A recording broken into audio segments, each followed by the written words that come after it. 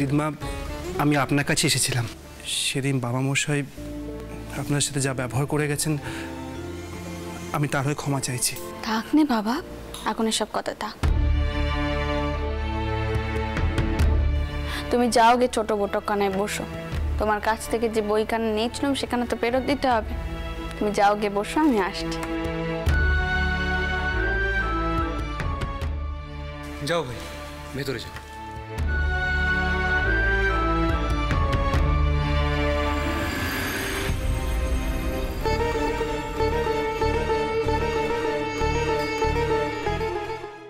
আপনি তো পেরিয়েছেন কোন? জাননে? ভেতরে গিয়ে সবাইকে কন্যে আপনি পেরিয়েছেন?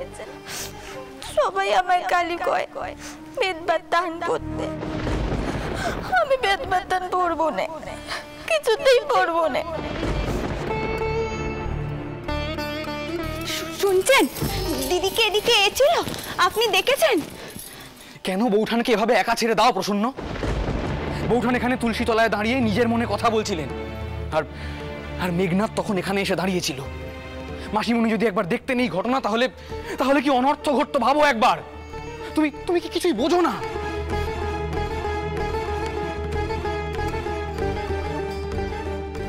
আপনি মিটে মিটে আমার উপর রাগ করছে।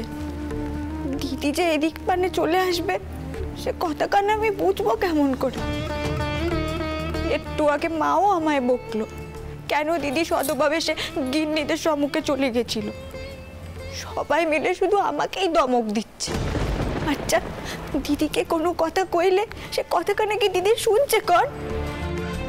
প্রসন্ন প্রসন্ন বৌঠানের মানসিক বিকার দেখা দিয়েছে। ওনাকে কিছু বললে উনি শুনবেন না। কিন্তু তাই বলে তো হাল ছেড়ে দিলে চলে না। বৌঠান বৌঠান তোমার জন্য কম কিছু করেননি প্রসন্ন। গোপাল এদিকে এসো। হ্যাঁ দিদমা বলো। তুমি পেশন্যকে কেন বকাচকা করছ? বড় নাথ বউকে সামলানো আমাদের কারোর পক্ষে সম্ভব নয়। সেখানে ও তো চেলে মানুষ? হম্বি তম্বি করার অভ্যেসখানে এবার ত্যাগ করো বাবা। কোবরেজ মশার বিষয়ে তোমার সাথে কিছু কথা কইবার আছে। তুমি ভেতরে যাও।